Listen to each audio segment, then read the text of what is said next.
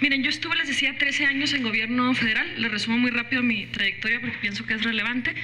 En la Secretaría de la Función Pública, el último cargo que ocupé fue asesora del secretario de la Función Pública. Después fui nombrada directora de planeación en Presidencia de la República. Es ahí donde se comete una, una declaración este, extemporánea.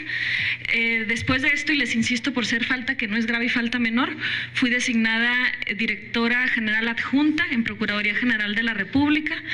Eh, posteriormente fui designada directora general en igual, en, Procuraduría General de la República. En cada uno de estos cambios y cada, unos, cada uno de estos ascensos que tuve tenía que presentar la de conclusión y la inicial, por cambio de puesto, aunque siguiera en gobierno federal.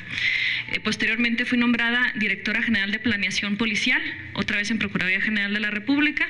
Después fui nombrada directora general adjunta en la Comisión Nacional de Seguridad, que ahí es donde también se presentan dos de manera extemporánea.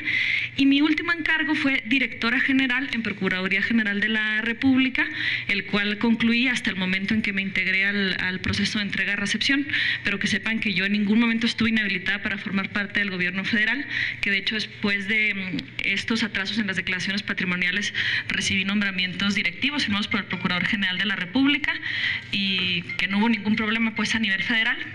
Eh, esos son todos los puestos. Y en cualquiera de los casos, lo que les eh, decía es que todas estas pueden verse en el portal del gobierno federal. Ahí viene la fecha en que se presenta la declaración. Entonces, estas tres declaraciones que están presentadas fueron presentadas en su momento. Eh, viene ahí la fecha en que, se, presentó. Cuando yo me integré aquí al gobierno del Estado, esas declaraciones tenían meses ya publicadas en el, el portal y el asunto ya está atendido a nivel federal sin mayor complicación.